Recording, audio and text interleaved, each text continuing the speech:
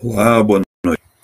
A Associação dos Municípios da Encosta Superior do Nordeste, a MESN, enviou hoje ao governo do estado o novo Plano de Ação Regional da Serra, com mudanças nos protocolos de enfrentamento à Covid-19, a pandemia da Covid-19 na região.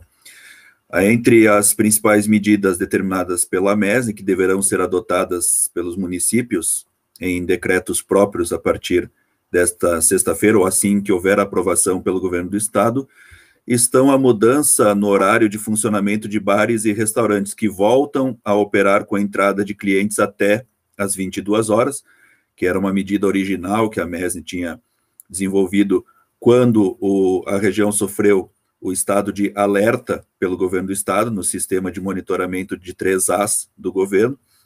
Então, os restaurantes voltam a, a receber clientes até as 22 horas e com fechamento até 23h59. Os, os estabelecimentos também devem evitar aglomerações nos acessos, priorizando reservas online para evitar a formação de filas. As lojas dos postos de conveniência também devem ser uh, deve respeitar o horário de fechamento de 22 horas. Além disso, fica proibida a permanência em praças e locais públicos das 21h30 às 7 da manhã, e os supermercados devem adotar controle de acesso para evitar aglomerações, medida que na prática nunca foi de fato efetivada e mais uma vez volta essa orientação.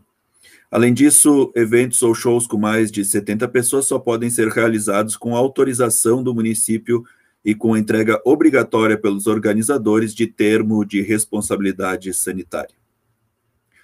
O plano de ações da Serra tem como eixo, são quatro eixos, ampliação da testagem, monitoramento de pacientes, conscientização no transporte público com lotação de até 60%, e lotação de até 60% na capacidade de adoção de termos de responsabilidade.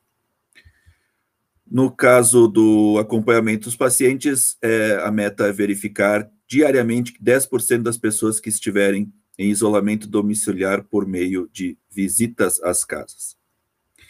E nesta sexta-feira, dia 25, o governador Eduardo Leite cumpre a agenda na Serra, entre as quais, entre as cidades que serão visitadas, está Caxias do Sul e são prometidos pelo governo anúncios nas áreas de infraestrutura e saúde. Eduardo Leite começa o roteiro às oito e meia da manhã em Garibaldi, visitando obras na VRS 813. Depois vai a Carlos Barbosa visitar a fábrica da Tramontina em Bento Gonçalves, a vinícola Aurora. Em Caxias à tarde, Eduardo Leite estará no TecnoUX, o Parque de Ciência, Tecnologia e Inovação da Universidade de Caxias do Sul, às 14 horas, depois no Hospital Geral às 15, seguindo com visitas à Agrale e FNM Elétricos e ao Pop Rua.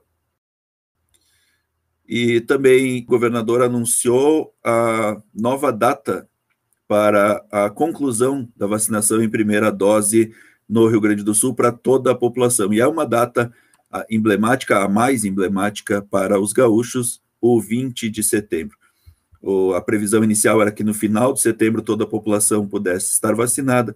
O governador então antecipou aí em 10 dias, fechando na data comemorativa da Revolução Farroupilha.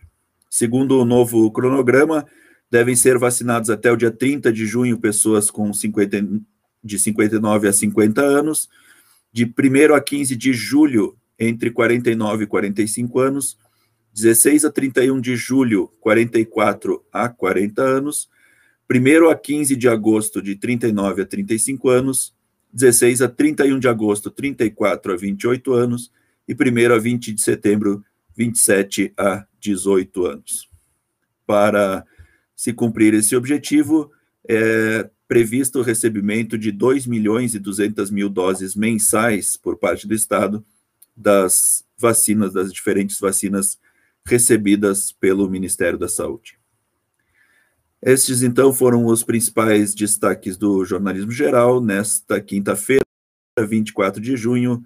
Informação ampliadas amanhã no Bitcom Bom Dia, web jornal diário da Bitcom TV, que vai ao ar sempre das 7 às 9 da manhã, transmitido pelas plataformas Facebook e YouTube. Uma boa noite a todos e até amanhã.